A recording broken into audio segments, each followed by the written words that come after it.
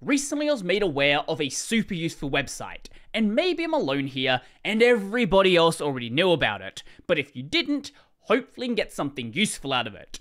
Are you ever confused about end of life dates for various products you have? You know the date is out there somewhere, but you have no idea what page it's on. If you do find the page, it's confusingly laid out and has information that contradicts with other information and it's just a giant mess.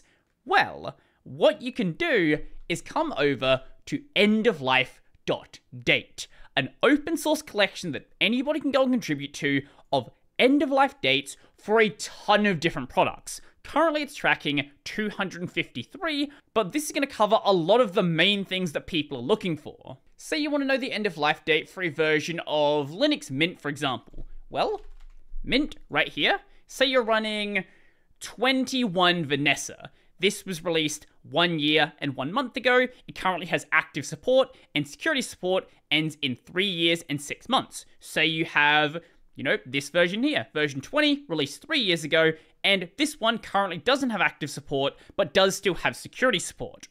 Okay, let's try out something like a Kindle. Here we go. Here's all of the devices that are currently supported, scrolling down, and down here it tells you when that support actually ended. So you want to look at something like a operating system like Windows. Well, all of these versions of Windows 10 and Windows 11 are currently being supported. This one here its support recently ended about three months ago. Let's try out something like a web browser, Firefox for example. Here we go. 117 is getting security support. It was released on this date. This version here, not currently being supported. But you can go with 115 ESR. Or how about, say, FreeBSD? Here we go. All of the exact same information. So on and so forth along with, when necessary, additional information explaining things that can't directly be explained in a chart. For example, on Ubuntu, with their release cadence, their support cycle, their support comparison, and then all of these caveats for things that aren't explained, things that had different names, things that just are not really that clear. Along with things like the Linux kernel, where there's sort of a expected release, but when it comes to how long things are going to be supported for, those dates are not set in stone.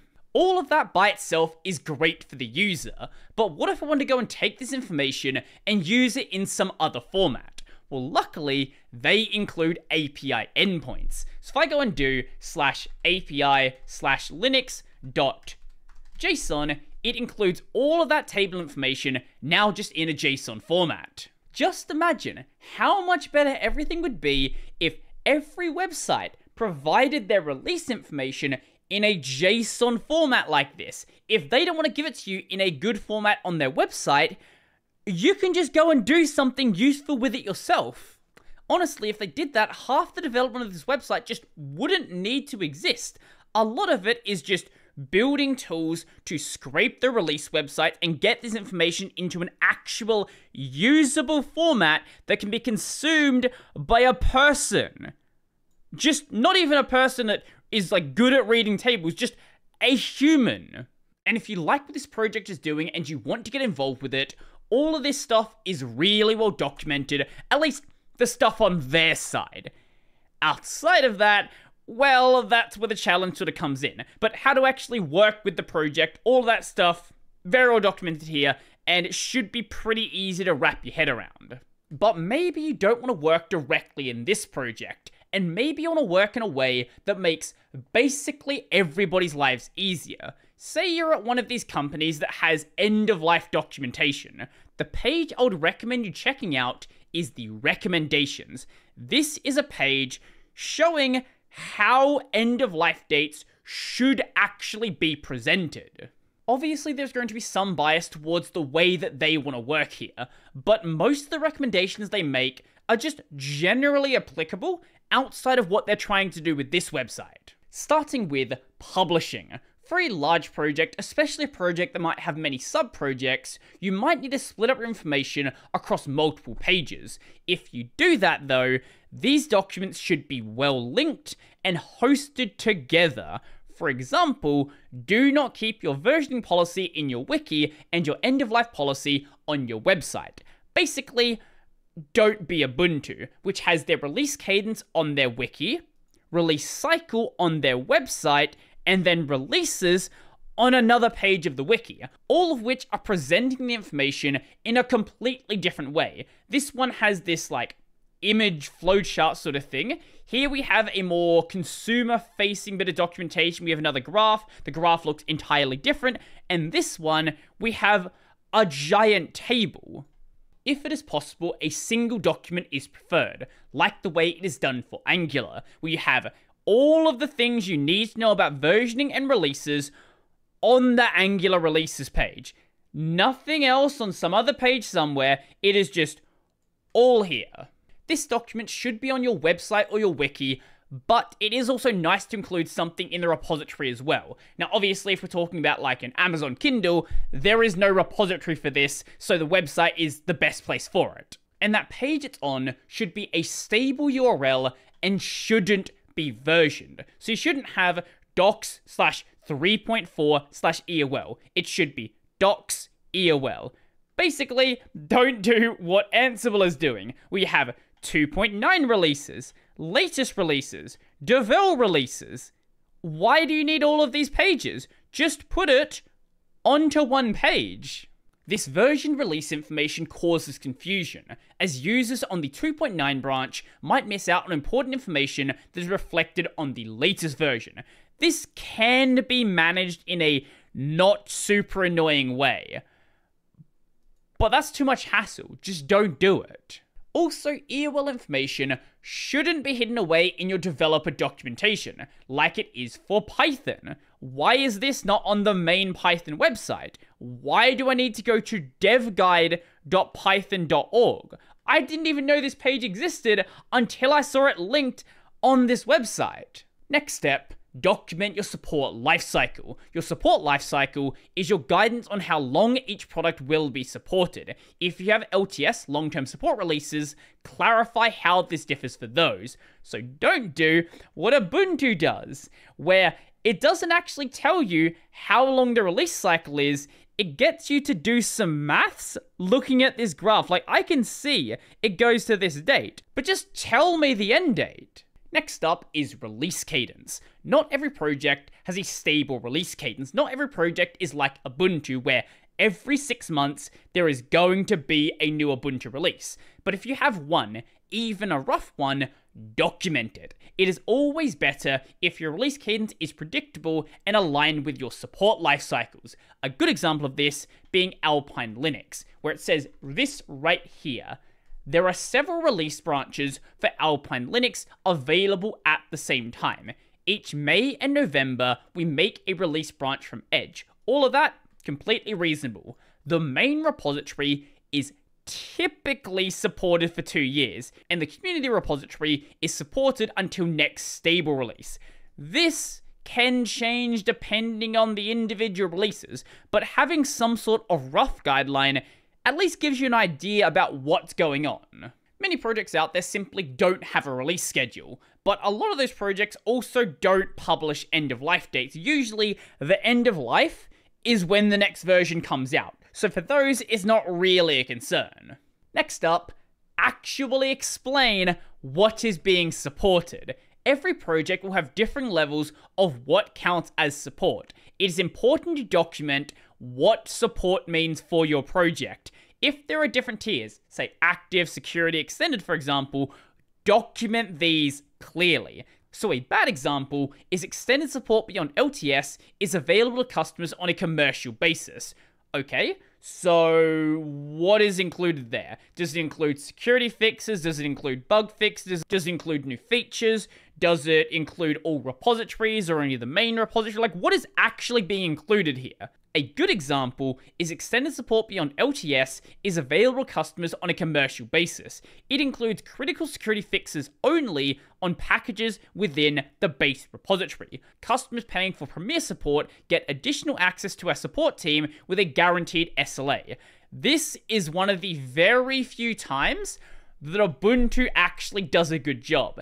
And I think the reason it does a good job is because this is the sort of business to business documentation. On Ubuntu LTS, the main version that everybody gets, the packages in Ubuntu main repository for five years, and then best effort on Ubuntu Universe. Then with Ubuntu Pro Infra Only, previously known as Ubuntu Advantage for Infrastructure, once again explaining what the previous name was, this you get 10 years on Ubuntu Main and best effort on Ubuntu Universe. Then with Ubuntu Pro, it is 10 years in both categories. Plus, there is this amusing graphic which I guess demonstrates how much better Ubuntu Pro is. On Ubuntu LTS, you get this tiny little orange bar, but with Ubuntu Pro, look at this giant black rectangle you get. It's so much better. The table is good enough, and if this graphic was missing, nothing of value would be lost. Next is versioning policy. Document your versioning policy. Even if the policy is homebrew and varies between major versions, a clearly documented policy is better than none. My favorite policy is the Linux kernel, where Linus Torvalds doesn't like a big minor number, so when the number gets too big, he increments the major number. I'm not joking. That's why we're on the 6.0 series. Release notes. We all love release notes. Actually make them. And if there's some sort of migration guide between, say, 2.3.7 and 2.4 or whatever the versioning number sort of system is, actually document how to do that migration. Not just the case where everything's working like it should be, but also try to address cases where maybe someone's doing something a bit weird and it needs some extra migration steps. Another thing you should do is actually list your releases in a way that is actually useful.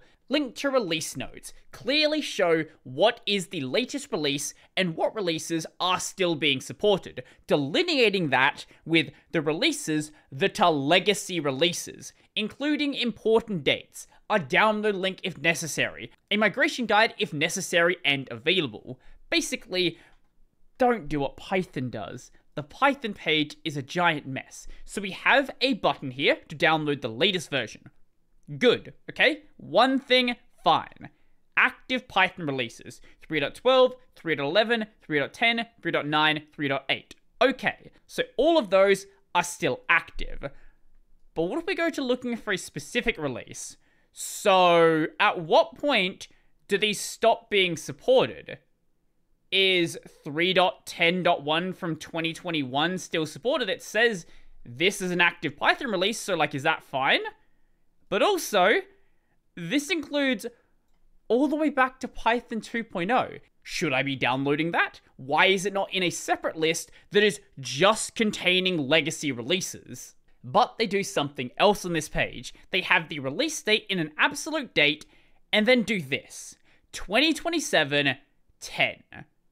Is that the start of October? Is that the end of October? Is that the middle of October? At what point in October is this the end of the support period? Don't do this. Actually use absolute dates. Many times your support slash end of life policies are relative. Common examples the last major release becomes unsupported 90 days after a new major release. Bug fixes on previous releases will be made till the latest releases get the first point release. But the users shouldn't have to do maths. Make sure that all your releases always have clear dates. I suggest year, month, day. You know, if Americans didn't exist and didn't use month, day, year, I would say day, month, year is also fine, but considering that they do exist, yeah, this is probably the better option. And finally, as an optional thing, have a graphic. Make sure the axes are clearly labeled. There is a straight line marking the current date. If you can make it interactive, provide a start and end date on hover. Make sure these images are kept updated. This is the big reason why you might not want to do it, because if you let it drift, it becomes worse than useless and ensure that all data in the image is also reflected in text for accessibility reasons, but also I don't want to read an image. Just let me see it in a table. So there are some good examples of this, like PHP, for example, where you have the information you need and nothing else. Django, also information you need, nothing else. Now, NVIDIA's is NVIDIA's, I guess, it works. Like, if you look at it for maybe five, ten minutes, you can work out what's going on.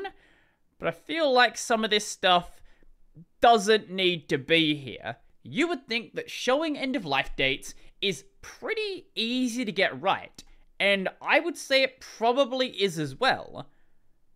But a lot of people just get it wrong, and a lot of these projects have had it wrong for so long that it's probably never going to be fixed. But if you're in a position to fix one of these projects, please go ahead and at least suggest something. So let me know. Did you know about this website? Are you in a position where you're maintaining a fairly large project, or at least somewhat involved with it, that actually has end of life dates? And maybe that information could be provided in a better and more friendly way to the users. I would love to know. So if you like this video, go like the video. And if you really like the video and you want to become a one over, these amazing people over here, check out the Patreon, Scribes, LiberaPay linked in the description down below. That's going to be it for me, and this video is EOL.